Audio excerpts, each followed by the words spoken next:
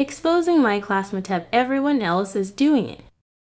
This is going to be something. So this classmate I've known for maybe two years or so on. Their name is Sam. So I don't really like him, and he doesn't like me as well. Our relationship is like friends but enemies at the same time. So I am in math class and Sam was behind me, and he was rocking his chair behind me because I don't know. The teacher came up to him. I can't remember everything she said, but it was something like it's dangerous and blah blah blah. Sam did stop for a few minutes or so, but like five minutes later, he started doing it again. But let's say this was not his lucky go because he fell over because he leaned back from the chair.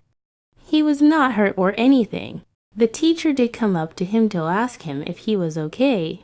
I was trying so hard not to laugh because I would get in trouble. Next, when I was talking to Emiliaka, my best friend, we were just heading to luncheon just talking about stuff. Until Sam came out of nowhere like, the he came from the back room screaming and shoved me. I literally screamed at him. Then school ended, I took the bus home. So did Sam we go on the same bus beach he lives nearish to me. Then he said something about my hair looking like a rat nest. So then we started arguing for like five minutes or so on. Then he said something like the boys in my class look cuter than me. I was quite speechless because he sounded very serious. He did realize what he meant to say, I think. He meant some girls in my class are cuter than me. He tried to tell me he meant to say girl, not boy. Well, this it for Sam I might do more if I remember some.